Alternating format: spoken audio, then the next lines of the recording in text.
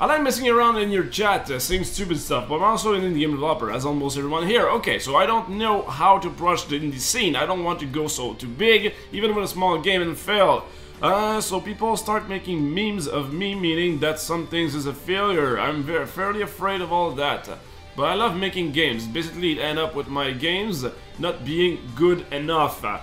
Do games, games, games, and lots of games, and eventually you get good at it, my friend. And as the being afraid of uh, other people looking at you as a failure, uh, it might happen. But the thing is, like three days later, they they're going to forget it. So go ahead, go go. There's one of the motto from uh, the Reddit creator, actually, the Reddit co-founder, and that's one of my best slogan ever. My best quote. He said, "Go forth and suck." Like go ahead, fail, and just get back, uh, get back on your feet and go ahead again, and then eventually you get good. You know. When I check my old games uh, that we did seven years ago, and the games I did by myself.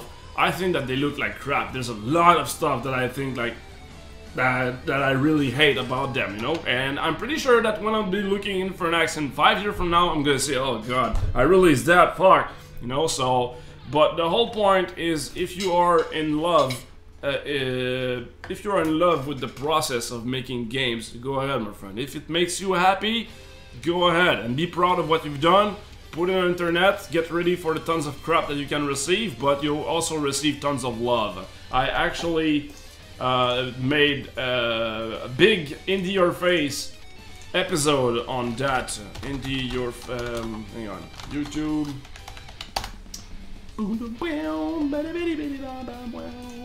How to deal with internet comments. Uh, boom, my friend.